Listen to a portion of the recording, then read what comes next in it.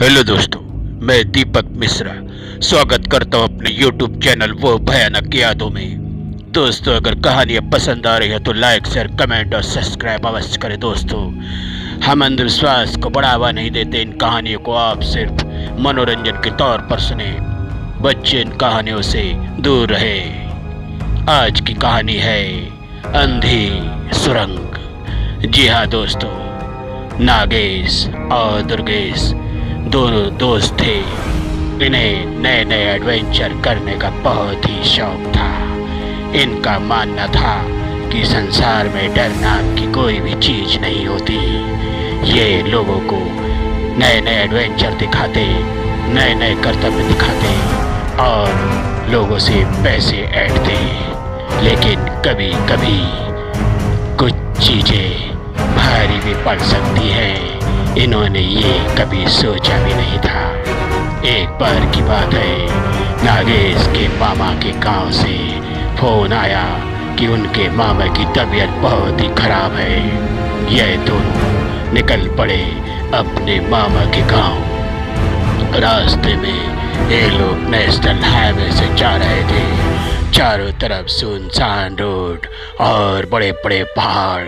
उस समय रात के तकरीबन 11 बज रहे थे। इन्होंने देखा, हाईवे के पास में काफ़ी लंबा एक मोटा पेड़ गिर के पड़ा हुआ है, जिसकी वजह से ट्रकों की लाइन लगी हुई है। चारों तरफ़ गाड़ियाँ जाम पड़ी हुई है, हॉर्न पे हॉर्न, लेकिन एक भी गाड़ी टस से मस नहीं हो रही है।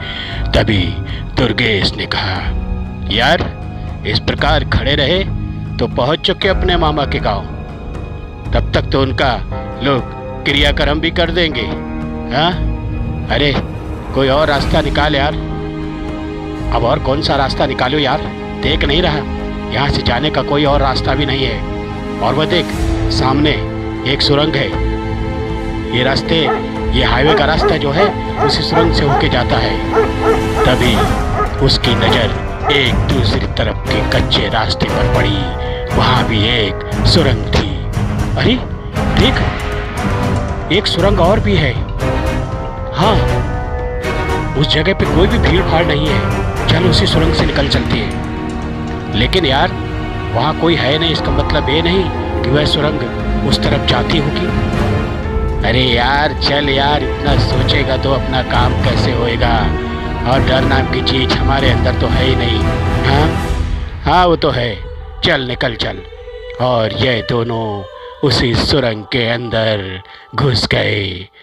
अंदर घुप अंधेरा था। गाड़ी की हेडलाइट चल रही थी। अरे, यार, यहाँ तो घुप अंधेरा है और चमगादड़ घूम रहे हैं। और ये कहाँ जाके निकलेगी यार? इसका तो कोई रास्ता भी नहीं दिखाई दे रहा है। अरे चलता चल, कहीं तो खत्म होगी कहीं तो ये बाहर निकलेगी और ये गाड़ियाँ भगाते रहे घागाते रहे। इनकी गाड़ी सन्नाटे में बातें करते हुए सुरंग के अंदर से चली जा रही थी। तभी अचानक इन्होंने देखा कि सामने कुछ मजदूर सुरंग में काम कर रहे हैं। अरे, ये लोग कौन है?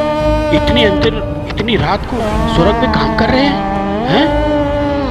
ये क्या कर रहे हैं यार?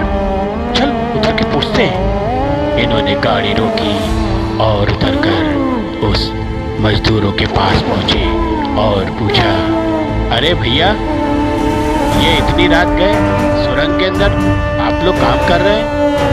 हैं? अरे आप लोग का घर द्वार है कि नहीं? बाल बच्चे है कि नहीं? हैं? उन्होंने कोई जवाब नहीं दिया।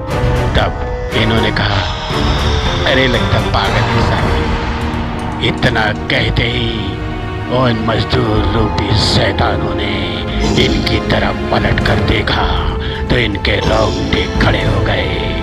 वे एक भयानक खबीज थे और धारते हुए इनकी तरफ़ भागे। इन लोगों के होश उड़ गए। ये लोग वहाँ से चीख पुकार करते हुए भागने लगे। अपनी गाड़ी छोड़कर सुरंग के अंदर भयानक अट्ठास होने लगा और यह भागते रहे भागते रहे, लेकिन कोई भी रास्ता इन्हें नज़र नहीं आ रहा था। यह चिल्ला रहे थे, मुझे बचाओ बचाओ, कोई बचाओ बचाओ हमें। तभी एक दर्दनाक हादसा हो गया। सुरंग के अंदर एक गहरी खाई जो कि दलदल पानी से भरी हुई थी।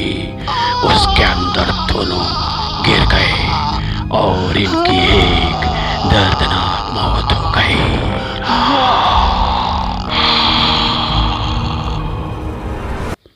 तो यह थी अंधी सुरंग की कहानी। कैसी लगी दोस्तों? अच्छी लगी हो तो लाइक शेयर कमेंट और सब्सक्राइब अवश्य करें। Good night